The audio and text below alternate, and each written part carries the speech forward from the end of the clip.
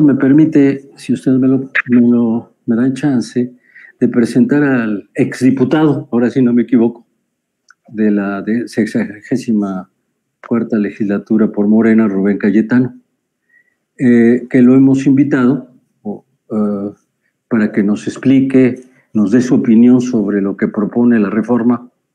Pero yo también diría que nos debiera explicar en qué consiste la administración de la justicia y cómo ha sido y cómo la evalúa en este momento y por qué hemos llegado a esta crisis y a esta circunstancia.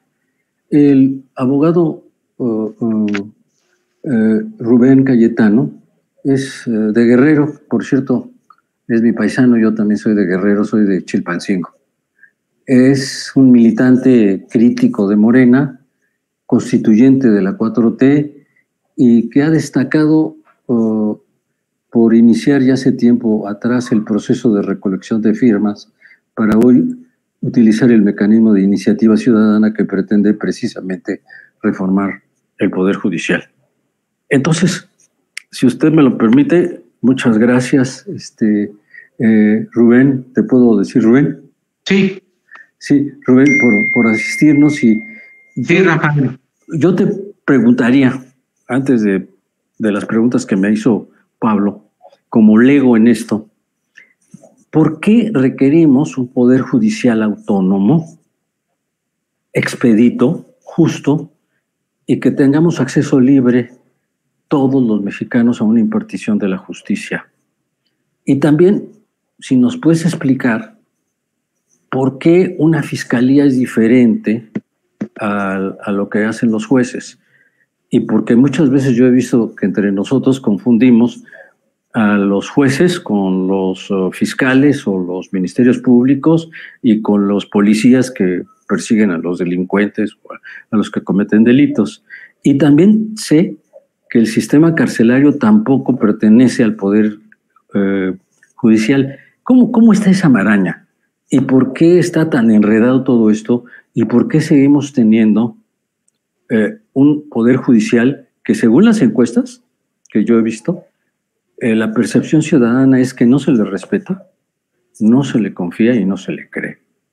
Bueno, si nos explicas rápidamente eso, o para, para desentrañar eso, porque muchas gentes no saben que el Poder Judicial, ¿qué hace? Diferenciado de las fiscalías, diferenciado de las policías y diferenciado de los que cuidan las cárceles. Si no me explico, todo eso se llama sistema de, la, de administración de la justicia, ¿o no? Bueno, después de la amplísima eh, pregunta, voy a tratar de poner las cosas en, con mucha precisión debido a que eh, se me pide que sea concreto, de manera rápida. Yo empezaría por un análisis previo. Nosotros tenemos en México un poder judicial corrupto, caduco, vetusto, arcaico y decadente. Como bien decías, Rafael, llevamos años con este régimen de injusticias Hace mucho tiempo, 1994, se hizo el diseño que tenemos en México de este sistema judicial. Al neoliberalismo le convino, era necesario para ellos tener el control del Poder Judicial. 1994 había 21 ministros, los, los redujeron a 11 pero mantuvieron los privilegios de los que quitaron y desde ahí se hizo el diseño para que el neoliberalismo impusiera sus determinaciones al país. A partir de, ese tiempo no se hizo una sola reforma constitucional a favor del pueblo de México. Y si alguien o algunos impugnaban ya fuera la reforma laboral, la reforma educativa, la reforma energética, la reforma fiscal, endeudamiento público, todo eso se frenaba. en la Suprema Corte de Justicia, porque se alegaba inconstitucionalidad. Contrariamente ahora, se invalidan leyes, se declaran inconstitucionales, antes se solapaban esas inconstitucionalidades. El, el régimen neoliberal necesitaba esa convalidación, requería del Poder Judicial. Para poderlo lograr, lo corrompió. Por eso decimos que el Poder Judicial se pudrió hasta el tuétano. ¿Para qué corromperlo? Pues para, para generar fraudes electorales y perpetuarse en el poder. Aunque llegara otro partido, el PAN, sustituyera al PRI, el régimen seguiría siendo el mismo.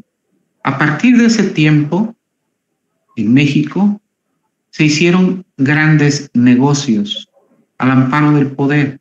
Fueron mercenarios de justicia, no litigantes.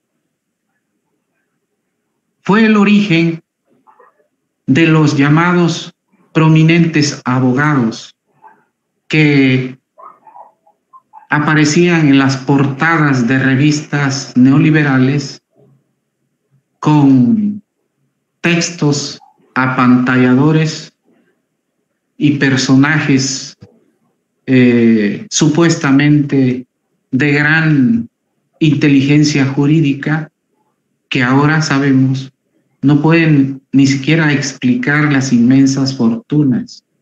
¿Cómo es posible que un selecto grupo de juristas se haya convertido o se hayan convertido en multimillonarios por las complicidades al amparo del poder hubo durante ese tiempo senadores de la República que imponían a la propia gente de sus bufetes y despachos como procuradores. Estoy hablando de la Procuraduría General de la República.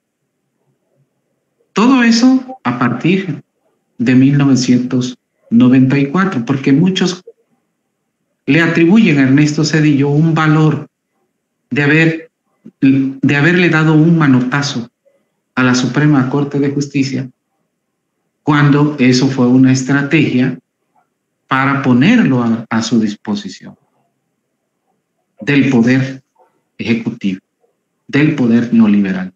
En el libro Memorias de los Supremos de la Corte de un expresidente, ministro en retiro, Genaro Góngora Pimentel, se explica de manera meridiana, clara, cómo los ministros eran requeridos en los pinos para que desde los pinos se les dijera cómo se iban a dictar las resoluciones que servían a la oligarquía. Esto sigue sucediendo, nada más que ahora es desde los despachos que tienen complicidades, bufetes y tribunales, abogados y jueces y hasta ministros. Se tendió una red de complicidad porque el diseño del Poder Judicial es desde el mismo poder. El presidente Andrés Manuel López Obrador solo ha designado a unos cuantos ministros. Toda la estructura vetusta sigue ahí. Fue un diseño para orientar no solamente esos negocios al amparo del poder, sino los saqueos y las privatizaciones en contra del pueblo de México, en contra de la nación. Por eso todas las resoluciones que eran combatidas desde despachos o desde los partidos progresistas eran declaradas improcedentes. Esa es la estructura que tenemos en México, pero no solamente es del Poder Judicial, en los órganos autónomos llamadas fiscalías es lo mismo. Y, por si esto fuera poco, en los poderes judiciales de los estados de la República, es decir, 32 poderes judiciales, están diseñados de manera idéntica. Se proponen a los magistrados desde el Ejecutivo, los avala el, el legislativo jamás son electos, nunca le rinden cuentas al pueblo. Esto de que el ministro o la ministra, presidente en turno, es al mismo tiempo presidente de la judicatura, lo venimos alegando desde hace décadas. Pero no solo se da allá, en el Poder Judicial de la Federación, también se replica en los estados. Entonces, el mal no está solamente en la federación.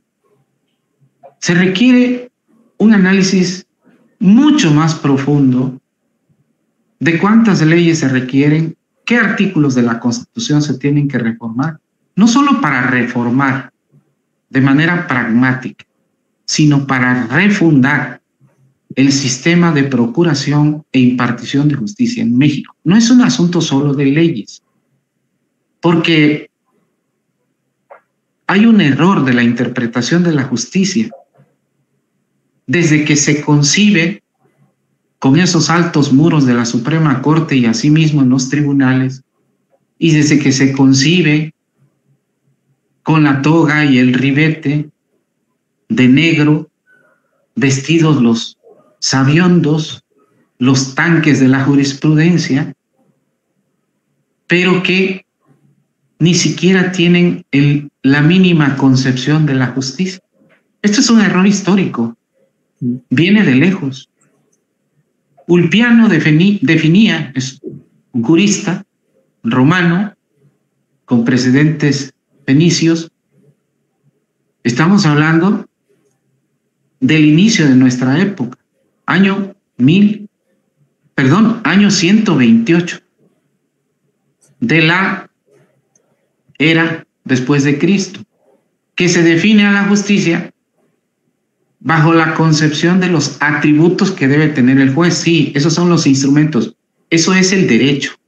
El derecho es un instrumento legal, un, una vía, pero no es el fin. El fin, el propósito, es la justicia. ¿Cómo entendemos la justicia? ¿Cómo conceptualizan la justicia?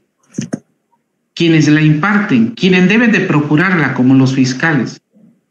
¿Qué ideal persiguen?